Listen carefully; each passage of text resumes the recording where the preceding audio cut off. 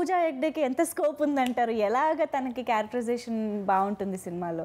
అంటే ఇప్పుడు heroine characters గురించి చెప్పాలంటే ఇప్పుడు మనం జనరల్గా అందరూ ఏమంటారు గ్లామర్ కోసం వాడుతుంటారు అది ఇది అని చెప్పి నేను ఎక్కువగా నా నేను రాసుకున్న కథల్లో నేను చేసిన కథల్లో అంటే కొన్ని కథల్లో మిస్ అయినా కూడా ఓవరాల్గా నేను ఎక్కువగా నేను రైట్ చేసే కథల్లో ఏం ఫీల్ అవుతానంటే హీరోయిన్ క్యారెక్టర్ అనేది సెపరేట్గా ఉండకూడదు.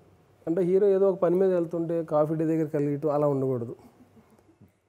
హీరో అనేవాడు ఒక కార్లో వెళ్తుంటే ఆ కార్ డ్రైవర్ అని అవ్వాలి ఆ కార్ ఓనర్ అని అవ్వాలనేది నా ఫీలింగ్ ఓకే.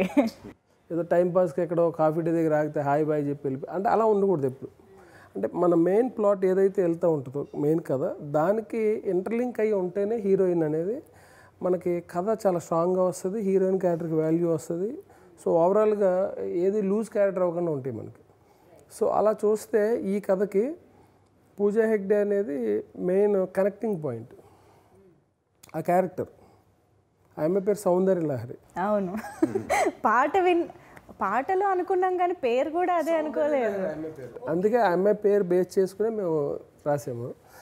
అంటే ఇంకా చాలా కొత్త మీకు రాఘవేంద్రరావు గారి ఇదే ఇన్స్పిరేషనా సౌందర్య లహరి అని ఎందుకు పెట్టాలనిపించింది? అంటే అందులో ఆ ఆ అమ్మాయి క్యారెక్టరైజేషన్ అలా ఉంటుంది. అంటే మామూలుగా సౌందర్య సౌందర్య లహరి అలాగేదో ఉంటే బాగుంటుంది అని అనుకున్నాం మేము. అంటే ఒక ట్రెడిషనల్ గర్ల్ దాంట్లో.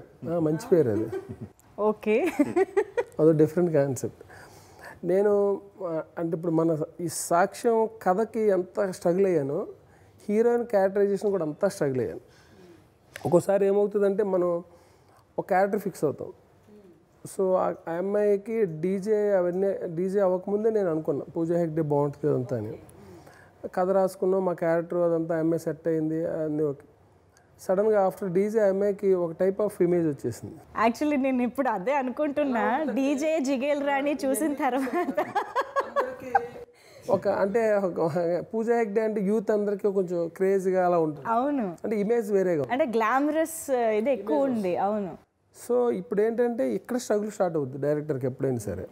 అంటే మన కథలో క్యారెక్టర్ని ఫాలో అవ్వాలి. అంటే సౌందర్య లహరిని ఫాలో అవ్వాలా? పూజ హెగ్డేని ఫాలో అవ్వాలని చెప్పి సో కొంత పూజ హెగ్డేని తీసుకుని సౌందర్య లహరిలో పెట్టి సౌందర్య ల- సౌందర్య లహరిని ఎక్కువగా డిస్టర్బ్ చేయకుండా ఎవరిని డిసప్పాయింట్ చేయకుండా సో ఇది మీకు సెట్స్కి వెళ్ళిన తర్వాత వచ్చిన ఒక ప్రాబ్లం అన్నమాట. Okay. Pooja Hegde this best movie అవుతుంది అతనికి. అంటే ఇప్పటి వరకు నేను రోజు అదే అంటుంటా. ఆ, నాది హీరోయిన్స్ విషయంలో కొంచెం లక్కీ హ్యాండ్ ఉంది నీకు కూడా నువ్వు స్టార్ అయిపోతావు ఇది అంటే ఆ అమ్మాయి ఆఫ్టర్ రిలీజ్ అయ్యారు ఇంతకు ముందు. ఇది బిఫోర్ రిలీజే ఆ అమ్మాయి బిక్ అయిపోయింది. యాక్చువల్గా మన లక్ష్యం తర్వాత అనుష్క బాబు. ఫస్ట్ అప్పటికి ఇంకా జస్ట్ విక్రమార్కుడు ఇంకా రిలీజ్ కూడా అవ్వలేదు మేము బుక్ చేసుకునేటప్పటికి. అరుంధతి రాలేదు. జస్ట్ అప్కమింగ్ స్టేజ్లో అంత బాగా. ఆ లక్ష్యం తర్వాత ఆ అమ్మాయికి ఆ స్టార్డమ్ మన అందరికీ తెలిసిందే.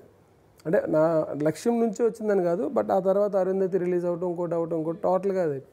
నెక్స్ట్ రకుల్ ప్రీత్ సింగ్. ఆ అమ్మాయి మన లౌక్యం టైంకి ఒకే ఒక సినిమా చేసింది వెంకటాద్రి ఎక్స్ప్రెస్. సో నాది సెకండ్ మూవీ. సో ఆ తర్వాత ఆ అమ్మాయి కూడా ఇదైపోయింది సో లక్ష్యం లౌక్యం సాక్ష్యం. వావ్. పచ్చాన కులారైగా పారు